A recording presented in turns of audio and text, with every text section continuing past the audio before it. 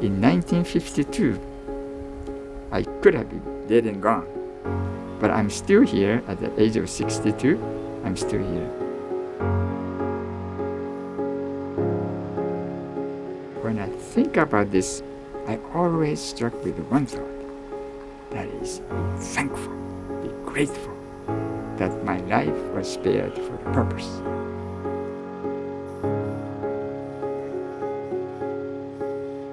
My name is Yoshinobu Namihira. I'm a general internist and gastroenterologist. I was born in Yonaguni Island, Okinawa, Japan, and in 1952 I was struck by polio. Even today, I have uh, aftermath. It's obvious that Yoshinobu Namihira is no ordinary doctor. His battle with polio as a child may have left him permanently disabled, but his story is proof that even life's most devastating events can have unexpected and beautiful outcomes. At the age of 13, I was sent to Okinawa Hospital for Handicapped Children. When I was in uh, Yonaguni Island, in a small uh, island, I thought I was the worst. But when I get to the hospital and then look around that day one, when I saw the children of various disabilities, I wept. I wept. I went to my room and I wept. That very night, I made a decision. I want to uh, become a doctor and serve people. With a newfound mission to help others, and knowing the lifelong physical limitations he would face, Yoshinobu set his focus on studying for the college entrance exam. It's very competitive. It's unlike the United States.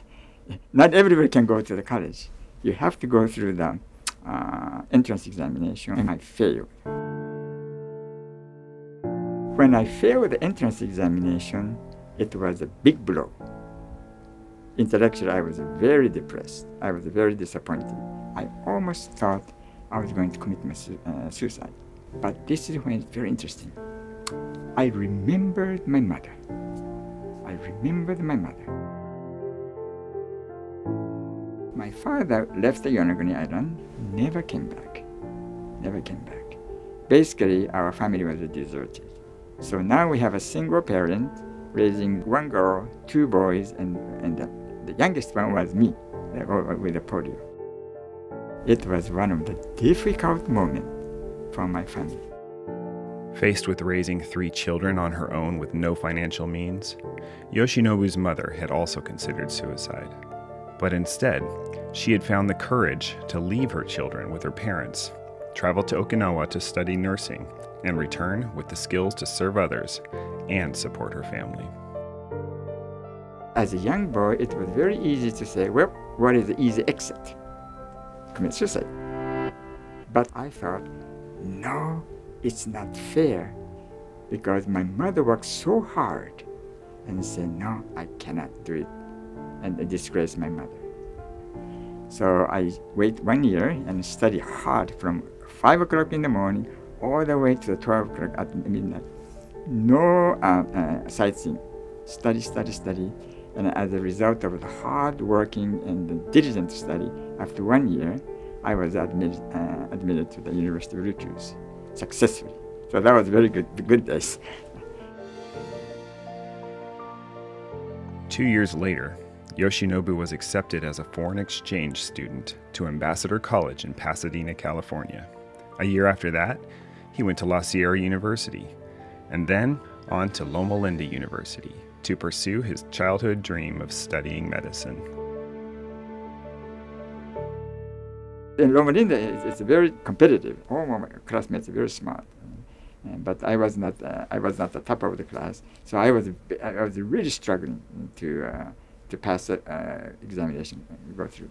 But when I went to a, a religion class, uh, Dr. Graham Maxwell was teaching, and I was very impressed.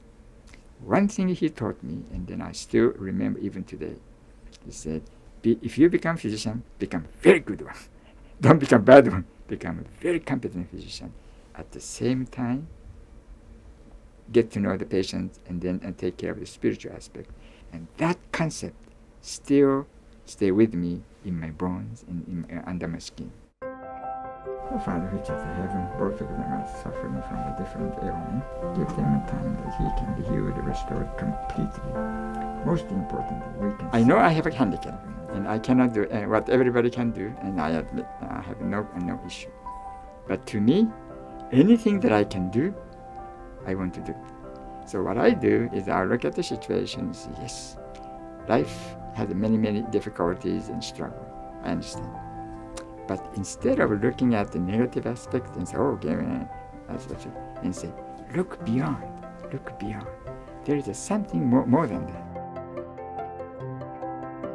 In Japanese saying, it says, Nanakorobi yaoki.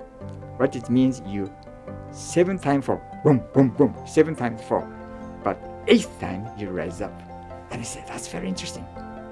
It's very encouraging. What it, what it teaches you, the spirit of perseverance. Endure, endure, endure in spite of difficulty. Failure is a failure when you quit. But the failure is not a failure when you get up one more time. Nana korobi yaoki. Seven falls, eight times you rise again.